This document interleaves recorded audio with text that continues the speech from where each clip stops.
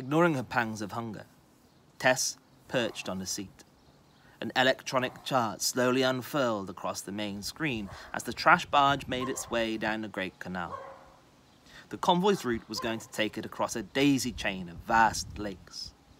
Tess vaguely remembered from her history lessons that these had once been picturesque rural towns and valleys, all flooded to create the reservoirs that let Foundation City drink and wash.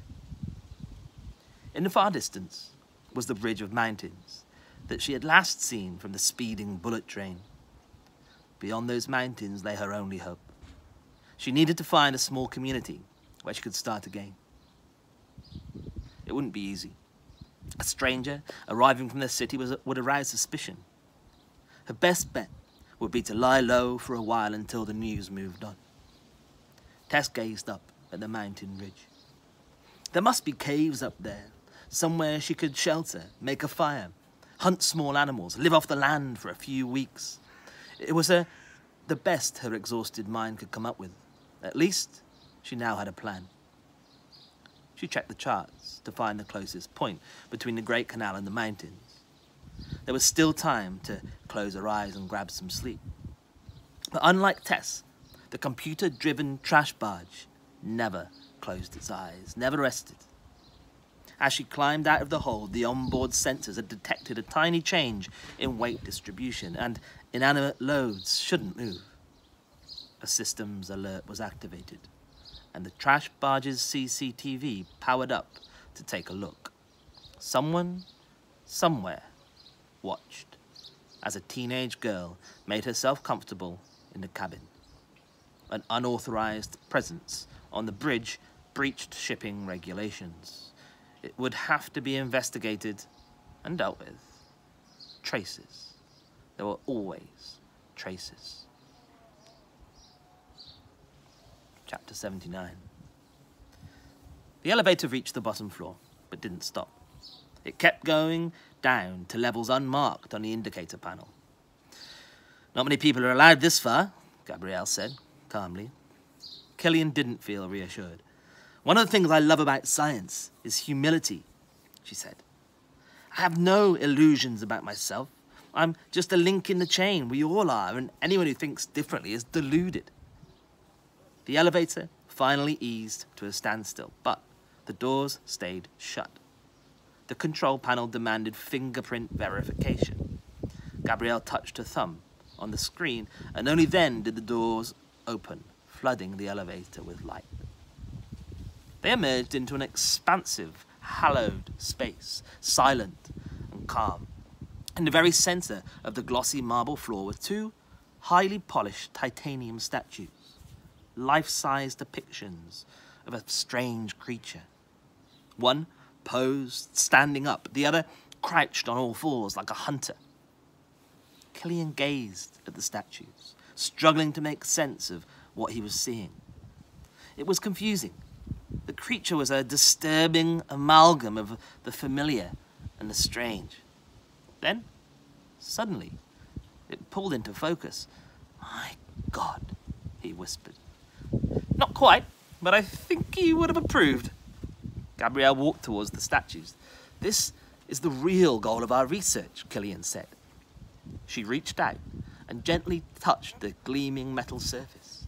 Human perfection. The creature had a muscular torso rippled with an exoskeleton. Four limbs that were a strange fusion of arms and legs a face that was human, but with individual elements rearranged and supplemented. Meet H plus, Gabrielle said. She's the future. The epitome of intellect and athleticism. As comfortable on two legs as four, pre-adapted to survive in the environmental changes that are now unstoppable and the social chaos that will follow. She paced around the statues, proudly pointing out various innovations, gills that work alongside lungs.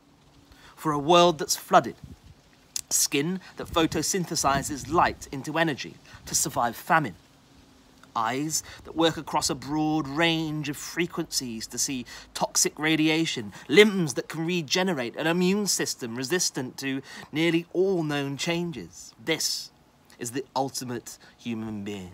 And you, and me, and all those children in Gilgamesh, we're just stepping stones on the journey to this. For a few moments, Killian was dazzled by the beauty of the creature, built with such searing logic. It's incredible, he whispered. She is, Gabrielle said with quiet pride. I knew you'd understand. But Gabrielle turned her piercing gaze on Killian. What about everybody else? What about them? Gabrielle seemed puzzled. If this is human plus, where does that leave humans? Ordinary humans who are alive today. I'm not interested in ordinary. There's a world full of people who need genetic cures and vaccine. Am I my brother's keeper? Gabrielle said sharply. You can't just write off 10 billion people. People who did nothing as the climate changed despite all the warnings. People who ignore warnings reap the whirlwind. So, this is some kind of revenge? No. It's just the inevitable. Evolution is brilliant but cruel. It punishes weakness and stupidity. What kind of justice is that? Justice has got nothing to do with it. If natural selection was fair, life on Earth would have been snuffed out as soon as it began. That's just a simple fact. But now humans can define what we are. She rested her hand on H. And this is it. No, it isn't. Killian stared at the gleaming, arrogant statues. This isn't what it means to be human at all. This isn't just about, this is just about survival. Everything, everything that makes life worth living. Oh, you mean love and art and all those fuzzy ways of thinking? Gabrielle smiled. We tried so hard to design sentimentality out of you, Killian. Love is just an illusion to trick, to remix the genes with every generation, and music and literature and culture, they service the remix. They're the veneer that masks what's really going on. Killian finally saw just how pitiless she was. I want nothing to do with this, or you. I understand. It's strong stuff, isn't it? That's why we need to make some adjustments. Killian felt suddenly uneasy as Gabrielle walked towards him. You haven't turned out quite like we'd hoped. I don't want adjusting. He backed away. I just want to leave here now. Okay, that's fine. If that's what you want, you can go. Why was she being so understanding? Let's at least part on good terms. Gabrielle opened her arms as if to give him a final hug, but Killian shook his head. After what you've done? He turned and strode towards the elevator doors. Moments later, he heard her footsteps behind him. Killian spun round, defensively, but Gabrielle just smiled. You'll need me to unlock the doors. Innocently, she lifted her right hand to show her thumb and in that moment of distraction, she struck. Her left hand lashed out, gripping Killian's neck. He felt a sharp pinprick in his flesh. I'm so sorry. Immediately, weakness started to flood into him. He tried to pull away, but she held his neck tightly. I'm not going to hurt you, she spoke softly. I just want to put you back into development. No, you won't remember any of this, not even as a bad dream. And you'll wake up so much better. Fight before it's too late. He tried to gather his energy, to slip out of time, but the toxins flooding his body were confusing his reactions. He was not going to end up in Gilgamesh. They were not going to wipe him clean like some malfunctioning machine. No! Exploding with rage, he smashed Gabrielle's arm aside.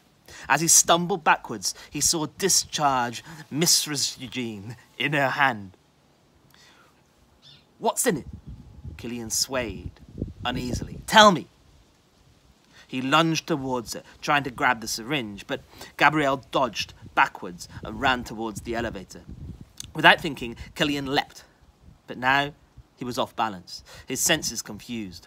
He smashed her heavily, slamming her to the floor. She gasped with pain, with shock. Fighting to coordinate his movements, Killian dragged himself to his knees and rolled Gabrielle over. Blood was oozing across her shirt.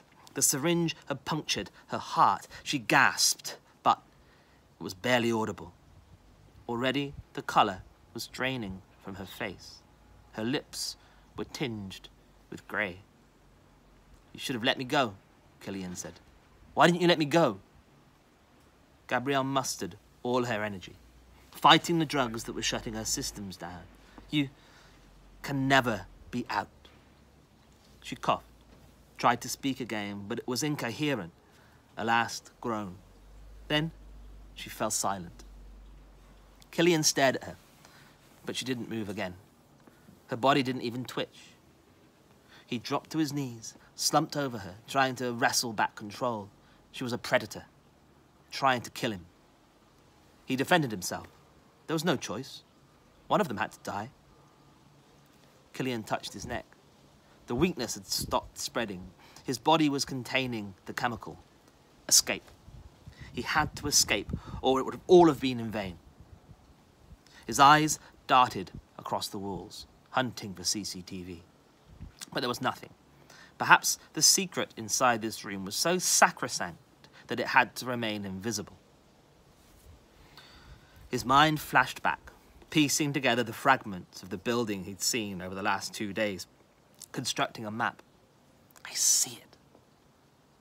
Struggling to contain his remorse, Killian bent down, grabbed Gabrielle, and dragged her body across the room, leaving a bloody wet smear on the smooth marble. At the elevator, he yanked her hands up and touched her thumbs on the control panel. Identity confirmed. The doors opened.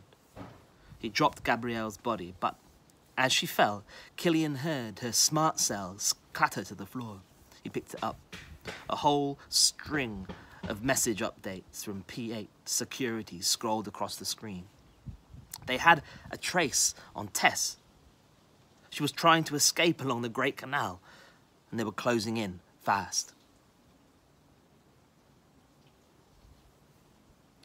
Chapter 80. Tess couldn't help smiling. No matter how smart the world got, water still flowed downhill. Right now, that gave her the perfect chance to get away. Several kilometres back, the convoy had started to break up as individual trash barges peeled off for different destinations. Her barge was heading for one of the Highland boil downs, which meant that it had to navigate a series of 40 canal locks that climbed up into the mountain foothills. Fully automated and computer controlled, these locks bore only a passing resemblance to the hand-cranked wood and iron gates from centuries ago.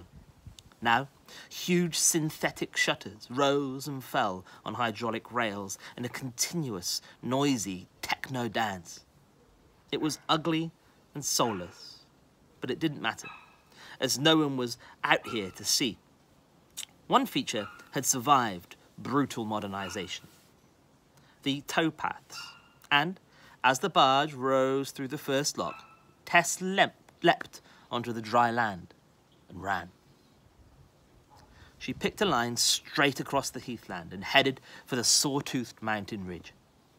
Even though the low shrubs had caught the most recent snowfall, stopping the ground underneath from freezing hard, it was still tough going.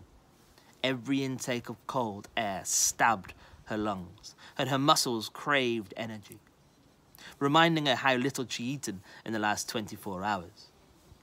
It was only willpower that kept Tess going. After half an hour of pain, her body settled into a rhythm.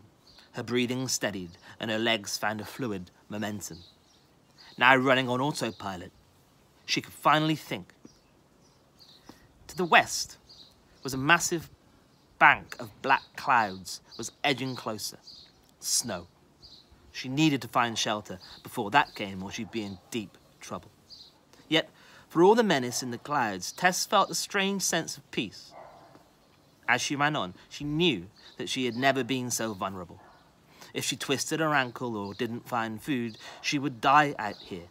And yet the dangers were no match for the exhilarating sense of freedom. All her life with revelation, she had lived in fear. Fear of the unknown, fear of change, of the future. And everything she'd done had been an attempt to escape from that fear. But now, Faced with the total indifference of this raw landscape, Tess realized that she could never escape it. Fear was all around her, waiting for her at every turn. But if she looked hard enough into its dark heart, she could still find freedom. An hour later, she came to a frozen stream. She stamped her feet on the glistening ice until it cracked. Then, hacked out a hole and scooped handfuls of water into her dry mouth. It was so cold and clean, it seemed to rush into every last cell of her body. She stood up and looked at the mountain range, stretching into the distance. This was where she belonged. It felt so right. Until four dots moving on the horizon jolted her heart. Please, no. She stared at the dots willing them to be nothing more than wild animals, but they were too organized and too relentless. They were men. Moving steadily towards her, never breaking formation, closing with deadly intent. They could only be assassins. P8 or Revelation, it made no difference now. Tess screamed with frustration. She'd dropped off the networks. She'd left no trace. How the hell had they found her? She glanced up at the approaching dots.